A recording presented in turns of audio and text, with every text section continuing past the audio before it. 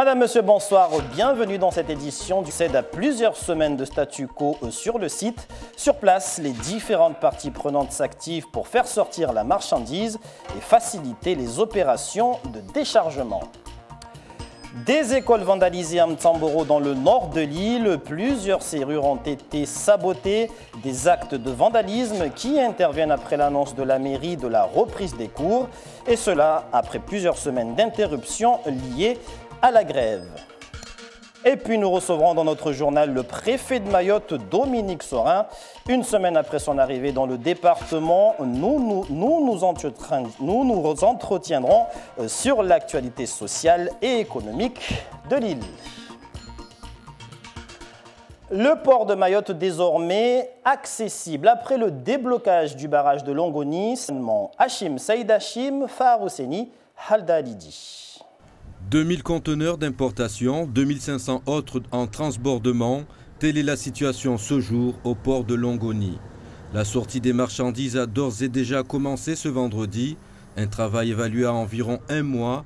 Dès lors, pour faciliter les opérations, l'opérateur du port demande aux transitaires habilités de s'organiser au mieux pour libérer le port sans encombre. Nous demandons aux transitaires de jouer le jeu parce que lorsqu'on demande une mise à disposition et que nous installons le conteneur dans la zone de livraison, c'est impératif qu'ils doivent venir les chercher parce que s'ils ne viennent pas les chercher, ça va euh, bloquer le système qui est mis en place et ça va ralentir euh, la livraison euh, des conteneurs. Un projet d'aménager une zone d'emplacement sur Kaweni est envisagé afin de limiter les délais de mise à disposition du conteneur. Avec les conditions de circulation euh, à Mayotte, il est tout à fait clair que euh, ça ralentit euh, le système. Donc le projet de port sec à Kaweni est, est, une, solution efficace et pour, pour permettre de diminuer les délais de livraison. Que d'habitude les transitaires avancent pour nous donc là, ils nous demandent de payer euh, de façon euh, immédiate.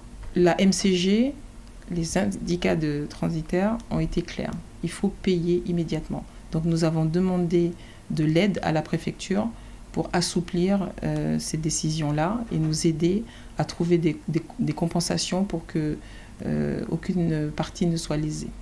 En attendant l'accord d'un délai de paiement, seuls les importateurs les moins lésés du mouvement de grève pourront dédouaner leurs marchandises Triste sort pour les autres, faute de trésorerie suffisante, ils risquent la confiscation et la vente aux enchères de leurs marchandises, au pire la destruction sous douane à leurs frais. Éducation et insécurité. Après l'école annexe 1 de Mamoudzou, euh, c'est au tour des écoles de Mtsamboro dans le nord de l'île de subir des actes de vandalisme, euh, de la colle à l'intérieur des serrures pour empêcher la reprise des cours qui devaient avoir lieu euh, depuis hier. Dans la commune, c'est en tout 1800 élèves qui se retrouvent privés d'enseignement depuis plus de six semaines. Anastasia Laguera, Youssouf Abedmatoir. Plus aucune porte ne s'ouvre dans cette école primaire Mtsamboro 3. Mercredi, dans la nuit, les serrures ont été obstruées avec de la colle alors que la municipalité prévoyait de reprendre les courses jeudi. C'est en tout neuf établissements qui ont été vandalisés dans la commune. Beaucoup soupçonnent les grévistes d'être à l'origine du saccage. Les habitants parlent d'inconscience. Ça fait déjà euh, presque deux mois de, grève euh, sur les routes euh, et que les enfants sont condamnés à rester à la maison et c'est pas une bonne chose vu que tous les jours on crie le niveau d'éducation à Mayotte il est un peu plus il est très très très bas par rapport au niveau national et vient s'ajouter aussi ces vandalismes sur les écoles. On en vient à détruire nos écoles alors que les enfants des autres communes vont à l'école tranquillement. Les nôtres subissent. Il faut qu'on se mette d'accord et qu'on ouvre enfin ces écoles. Alors que le budget 2018 de la commune doit être voté mardi, 10 000 euros sont d'ores et déjà alloués au remplacement des serrures, du gâchis, selon le maire qui envisage de porter plainte. Il y a de la déception parce qu'avec tous les efforts que nous faisons euh, à rénover les salles de classe depuis 2014, c'est pas c'est plus d'un million d'euros euh, qu'on a investi dans ces salles de classe. Les salles de réfectoire là, ont été rénovées, tout a été euh, fait pour pouvoir équiper ces, réfectoires et permettre aux élèves d'avoir un endroit où manger tranquillement. Il faut que je rappelle encore ici que la commune de Mtsamboro fait partie des rares communes qui, fournissent des repas chauds aux élèves. Dimanche, la municipalité rencontrera les parents d'élèves pour décider d'une date d'ouverture des classes. Depuis plusieurs semaines, les écoliers font partie des victimes collatérales de cette grève générale. Avec nous sur ce plateau, Dominique Sorin. Monsieur le préfet, bonsoir. Bonsoir. Alors, tout d'abord, un premier regard sur le déblocage de la situation à Longoni mais Longoni, euh, le port était bloqué depuis plusieurs semaines, ce qui provoquait des problèmes euh, d'approvisionnement sur l'ensemble de, l'île. Il y avait des magasins qui étaient en train de fermer, ça perturbait considérablement euh, la vie quotidienne des Maoraises et des Maorais. C'est pour cette raison qu'après beaucoup de consultations, puisqu'il y a plusieurs parties prenantes qui ont appelé à la levée du blocage et à la levée des barrages, je rappelle, les élus ont appelé à cela, le monde économique avait appelé, le Grand Cadi avait appelé, et enfin l'intersyndicale et les collectifs avaient appelé à cette levée de barrage. J'ai laissé un petit peu de temps pour que ceci euh, se mette, enfin que les choses se débloquent. Mais devant la persistance de ce blocage, j'ai décidé ce matin de faire lever ce barrage de façon à ce que la vie du port recommence et qu'on puisse approvisionner l'île dans les meilleures conditions euh, possibles. C'était une nécessité, parce qu'on ne peut pas envisager un tel blocage économique, parce que non seulement il y a l'approvisionnement, mais il y a la vie économique des entreprises. Et la vie économique des entreprises, c'est le travail euh, des Maoris, c'est le salaire des euh, on ne pouvait pas laisser se dégrader une telle situation. Alors, on vient de parler du barrage de Longoni, les barrages de Tsararano et Chirongi. Partie prenante pour faire en sorte que ces barrages ne, se, ne perdurent pas. Parce que pourquoi? Parce que je disais, je parlais de Longoni et des problèmes d'approvisionnement, mais le, barrage, c'est une entrave à la circulation, c'est une des libertés euh, fondamentales de notre, de notre République, il faut le rappeler. C'est aussi les soins. J'étais à l'hôpital dimanche dernier, j'ai vu qu'il y avait eu des problèmes d'accès aux soins pour, euh, pour beaucoup. C'est un problème d'accès à l'école. L'école, c'est une richesse, c'est une des richesses de notre République, de notre République française, l'école. Euh, notre société s'est bâtie à partir de l'école. Il faut que les enfants puissent y, accéder. Donc tout, ce contexte fait qu'il est nécessaire que ces barrages soient levés.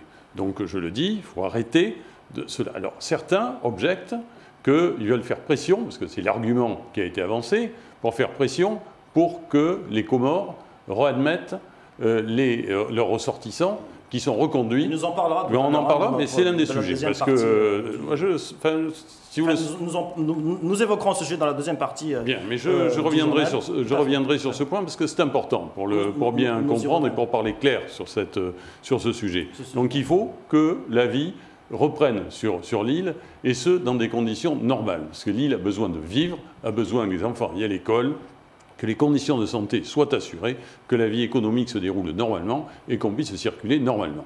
Alors, le port est réouvert, certes, mais euh, l'inquiétude demeure donc pour les entreprises avec un préjudice assez colossal par rapport à, ce blocage durant euh, plusieurs semaines. Est-ce que l'État a prévu un apport pour accompagner ces entreprises dans cette reprise d'activité? Oui, euh, j'ai vu hier, j'ai vu les banques de la place de, de Mayotte. Cet après-midi, j'ai vu les représentants du monde des entreprises et nous sommes convenus de la mise en place de mesures rapides pour faciliter la trésorerie des entreprises.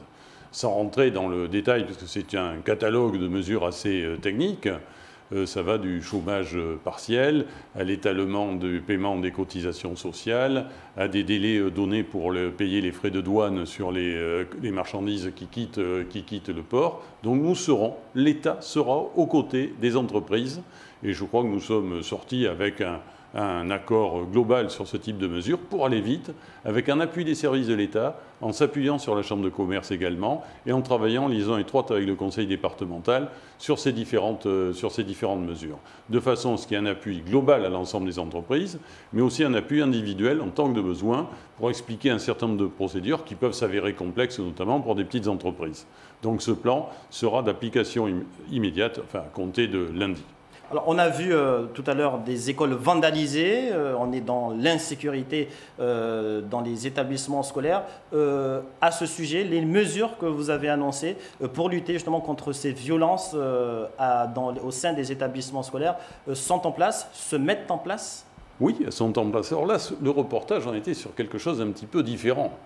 Parce que on est, c'est pas des violences. Je, vais revenir sur les, violences. Mais dans le reportage, ce qu'on montre, c'est que des personnes ont mis de la colle dans les, euh, dans les serrures, ce qui cause une perte pour les communes. Et surtout, encore une fois de plus, c'est les enfants qui ne peuvent pas aller à l'école après plusieurs euh, semaines d'arrêt des, cours. Et d'ailleurs, j'ai entendu dans votre reportage les parents, le maire qui euh, disait qu'il allait porter plainte, et des parents qui s'offusquaient, qui étaient indignés que leurs enfants ne puissent pas aller à l'école. Ce n'est pas normal. Je le dis, l'école, c'est une des richesses de notre, de notre République. Et c'est prendre en otage les enfants que d'avoir de, telles, de, telles, de telles pratiques. Donc ce n'est pas normal. Alors par ailleurs, il y a les questions de violence autour de, euh, des bâtiments, autour de, des écoles, des lycées et, des collèges. Et nous avons indiqué, la ministre Annick Jardin, quand elle était venue, avait indiqué qu'on mettrait en place des moyens renforcés. Je l'ai fait je me suis assuré de cette mise en place mon arrivée de ces moyens renforcés pour euh, protéger cet environnement scolaire. Ce sont des policiers et des gendarmes supplémentaires affectés, je dirais, à la surveillance soit des trajets, soit de l'environnement des écoles. Ce sont également des moyens des réservistes de la gendarmerie ou des, réservistes civils de la police qui ont été mobilisés. Ils, sont déjà, ils, sont déjà, déployés Ils sont déjà en place. J'étais il y a deux euh, jours. J'étais déjà il y a deux jours dans un collège de de, de, de, Oui, absolument. Et je continuerai. J'irai dans les autres parties du territoire dans les jours qui viennent pour m'assurer aussi que sur tout le territoire il y a bien cette sécurité euh, qui, est, euh, qui est assurée. Donc ce sont des moyens également d'accueil de l'éducation nationale, des agents de sécurité de l'éducation nationale qui sont mobilisés, également euh, des, jeunes qui font du service civique également qui sont mobilisés pour faciliter euh, cet accueil. Et j'ai vu également des parents euh, dans le collège où, je suis allé récemment qui assuraient, c'était une association de parents, qui contribuait à cet accompagnement des enfants. Et ça, il faut, parce qu'il est inadmissible, j'ai eu l'occasion de dire d'ailleurs, le premier jour où j'étais ici à Mayotte, j'ai eu l'occasion de le dire, il, est pas supportable que des enfants soient agressés. Et ça, cette cet engagement sur la violence, je l'assurerai, de façon, non seulement dans l'environnement scolaire, mais il y a également des bandes qui sévissent à Mayotte. Il y a une quinzaine de bandes qui ont été identifiées. Quinzaine est un chiffre approximatif, mais c'est à peu près ça. Et nous devons lutter résolument contre Elles ont été identifiées elles ont Il y en a beaucoup qui ont été. Il y, en a beaucoup qui ont été identifiés. Les gendarmes sont allés récemment, enfin, ont lancé une opération récemment sur, une de ces bandes. Donc nous continuerons cette action résolue contre les, bandes. J'ai été interrogé sur ce sujet par plusieurs parties prenantes avec qui je discute tout, depuis, euh, depuis mon arrivée. Et ça, c'est un engagement fort de l'État en la matière, c'est de renforcer cette sécurité. Euh, vous restez avec nous, euh, monsieur le préfet, je reviendrai vers vous. Euh, nous allons évoquer cette rencontre ce vendredi après-midi entre le missionnaire du gouvernement chargé de l'éducation et les élus du département. Au cœur des discussions, les difficultés existantes dans l'enseignement du premier degré et des perspectives d'avenir. Pour les élus, il y a nécessité d'échanger sur le sujet, mais les solutions proposées n'apportent pas de visibilité pour répondre aux besoins des élèves et de la population. L'objectif visé par les élus euh, reste ici en toute évidence l'égalité des chances dans toutes les écoles. On écoute Daniel Zaidani, conseiller départemental de Pamandzi, au micro euh, d'Alda Alidi et Henriette Bouanaïssa. Pour ma part, aujourd'hui, cette égalité des chances est rompue. Et à cela se rajoute également maintenant le problème, le problème de l'insécurité qui, euh, qui gangrène cet enseignement. Donc, le président de la République prend quotidiennement des mesures pour améliorer le système scolaire en France. Nous avons entendu qu'il voulait faire en sorte qu'il n'y ait que 12 élèves à l'école de CP. La semaine dernière, il a annoncé qu'il souhaitait que tous les enfants qui sont à l'âge de 3 ans soient scolarisés en maternelle. Mais cela, à Mayotte, doit se traduire par le déploiement de moyens exceptionnels pour rattraper l'existant. Parce que je rappelle qu'à Mayotte, nous sommes déjà dans les rotations, nous sommes dans des classes surchargées, nous avons euh, un problème d'élèves qui ne sont pas encore scolarisés. Donc cela nécessite en réalité qu'on nous donne euh, une enveloppe exceptionnelle pour pouvoir construire plus de 600 classes à l'école maternelle, que, euh, l'école à l'école primaire, que nous faisons en sorte que à chaque année, nous construisons suffisamment de classes pour scolariser tous les élèves. Il ne s'agit pas aujourd'hui aux élus et encore moins à la population de choisir entre son propre enfant et l'enfant d'un clandestin. C'est à l'éducation nationale, c'est au président de la République de mettre les moyens à Mayotte pour garantir l'égalité des chances à tous.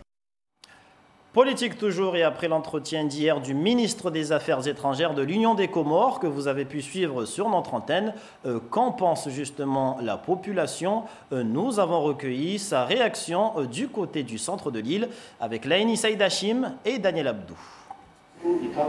Ils ont les yeux rivés sur l'écran pour ne rien rater de cet entretien. Le mouvement contre l'insécurité, l'immigration clandestine couronnée par le blocage par Moroni de la reconduite aux frontières de leurs ressortissants illégaux à Mayotte, les clients de ce restaurant, maoré comme comoriens, disent avoir bien analysé le discours du ministre des Affaires étrangères de l'Union des Comores. C'est vrai, il y a plus de sécurité là-bas, mais ce n'est pas de leur fait. C'est grâce à l'éducation qu'on donne à nos enfants. Mais quant à eux, ils ne pensent qu'à se remplir les poches et se débarrasser de nous. Alors même si on leur donne des millions et des millions, ça n'arrangera pas la situation parce qu'ils ont les moyens de quitter le pays pour une meilleure vie, pas nous. Pour ces Maorés aussi, Mohamed Elamine Souef fait de la politique politicienne et le déni systématique de la réalité de son pays ne convainc plus. J'ai rien retenu d'intéressant par rapport à monsieur, le ministre. J'ai retenu juste une chose. Il a parlé comme quoi, au Comores, on peut dormir tranquille, on peut dormir même les portes ouvertes. Eh bien, c'est normal parce que tous ces bandits se trouvent tous à Mayotte. D'ailleurs, vous pouvez voir derrière nous, on dort avec des, des, des barreaux. On ne peut même pas sortir dehors la nuit. Donc, c'est normal. On n'a rien à discuter avec eux. Mais il faut que le, ces, ces, ressortissants restent chez eux. Ben, il faut qu'ils entrent chez nous légalement, pas illégalement, parce qu'ils nous encombrent chez nous. Imagine des gens qui arrivent chez nous, ils n'ont pas de travail, ils n'ont rien. Qu'est-ce qu'ils font? Ils volent.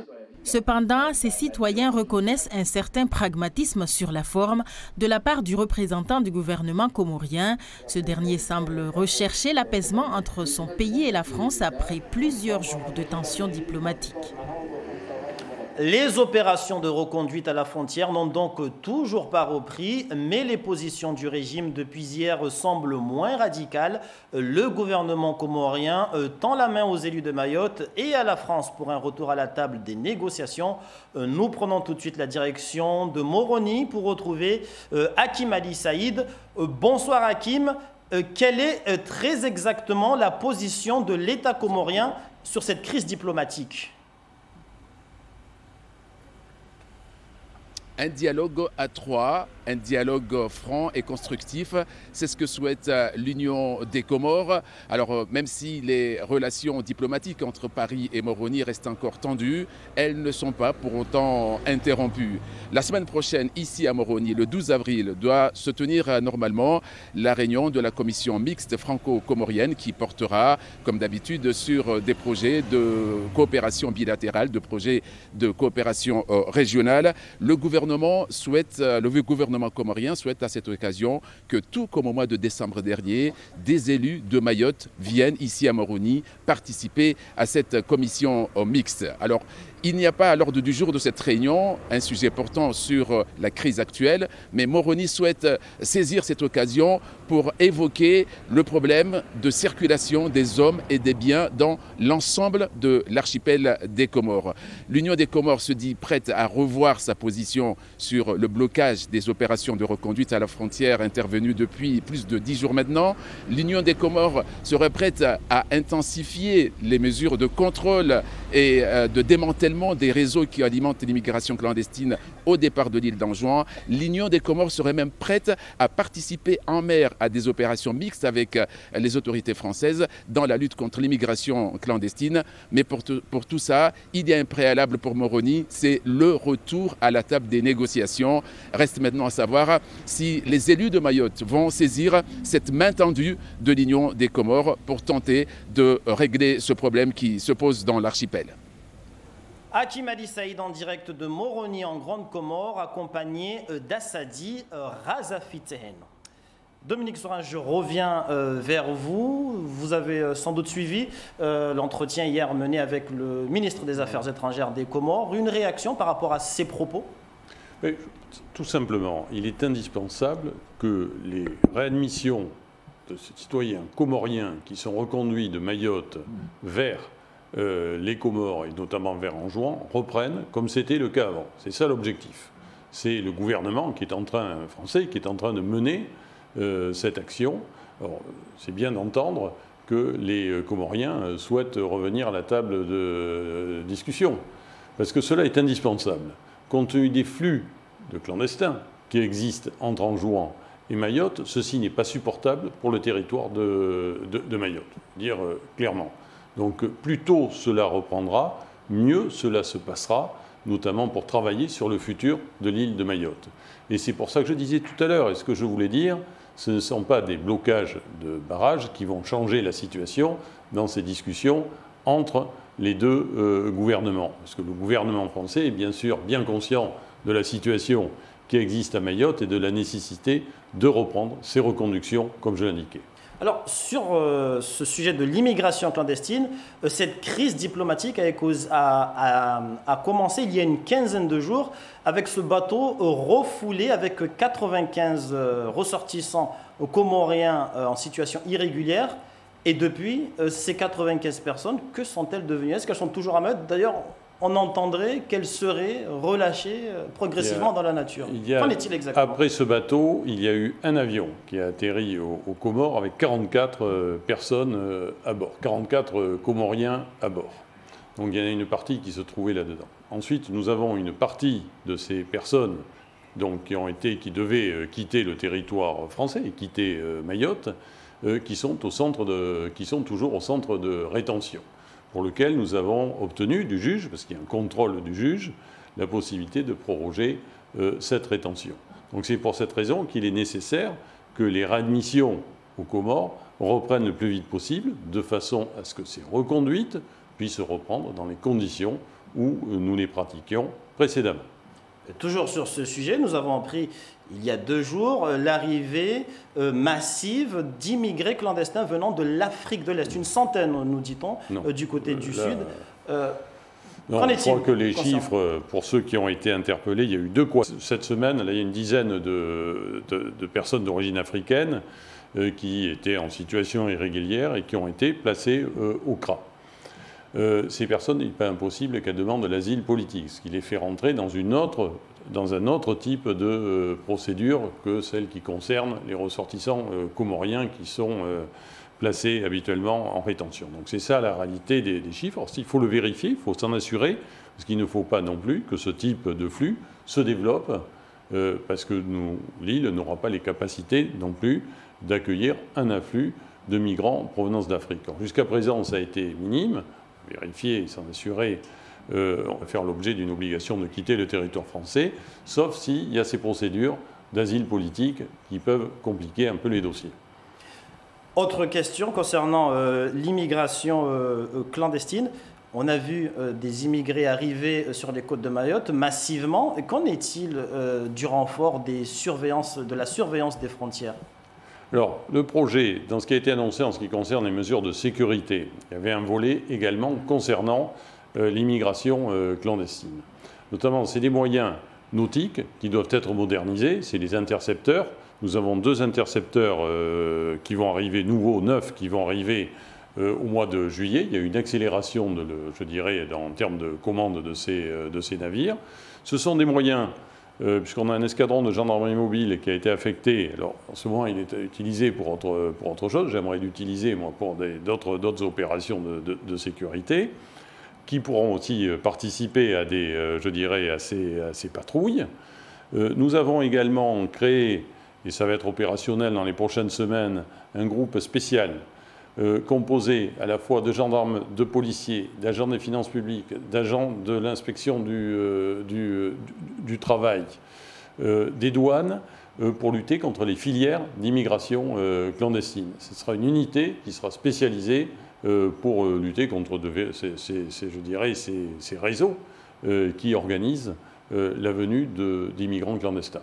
Autre point, euh, pour terminer, on l'a vu tout à l'heure, les élus qui sortaient d'une réunion. Délégation travail, je suis venu avec toute une équipe, avec cinq euh, missionnaires, et nous avons multiplié depuis, je suis arrivé le vendredi, euh, dès le samedi, nous avons commencé des réunions avec les élus, avec le conseil départemental, avec l'association des maires, avec le monde économique, avec également la plateforme de l'intersyndicale et du collectif. Il y a des réunions régulières, soit des réunions thématiques, j'en ai fait moi-même sur la sécurité et sur l'immigration, ce sont des heures et des heures de travail.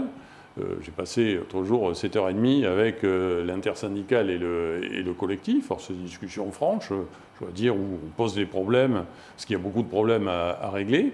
Et il y a différentes réunions thématiques sur l'éducation euh, nationale, sur le problème des réseaux de, des réseaux de transport, sur le problème des routes, sur euh, les problèmes de santé, euh, qu'est-ce qu'il faut comme équipement en matière de santé euh, à Mayotte, ce sont des choses extrêmement concrètes, parce que notre objectif, c'est de produire à la fin du mois, je le répète, c'est la commande qui nous a été faite, d'avoir un document avec un certain nombre d'engagements de, de l'État sur ces grands équipements, sur un certain nombre de procédures d'affectation d'enseignants.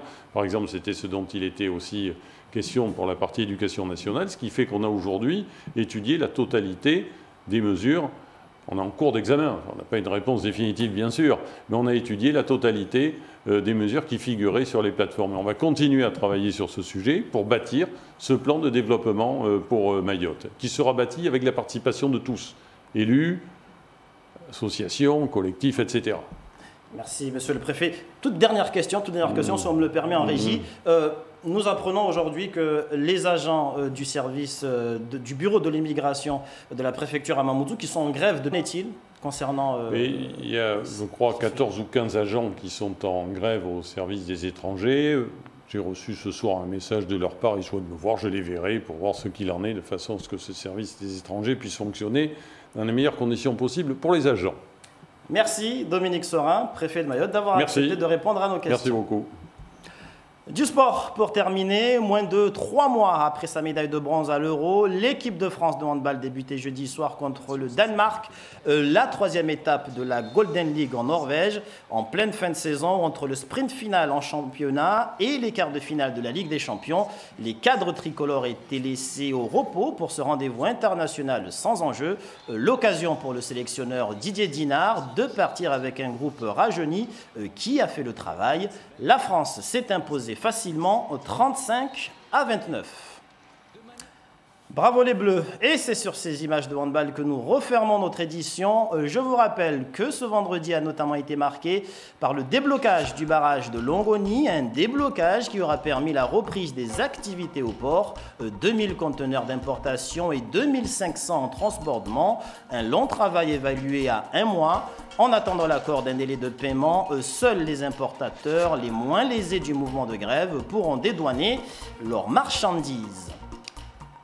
Merci pour toute l'attention accordée à ce journal. Dans un instant, vous serez avec Darwesh Daou pour le journal en Maoré. À 20h, votre série euh, Shérif. Et à 21h50, vous pourrez revisionner votre magazine sportif Mayotte Sporting Club. Et puis demain, euh, samedi, euh, je vous donne rendez-vous pour notre tout nouveau journal du week-end que j'aurai le plaisir de vous présenter. Rendez-vous donc demain soir pour cette grande première. Ce sera à 19h. Belle soirée à tous.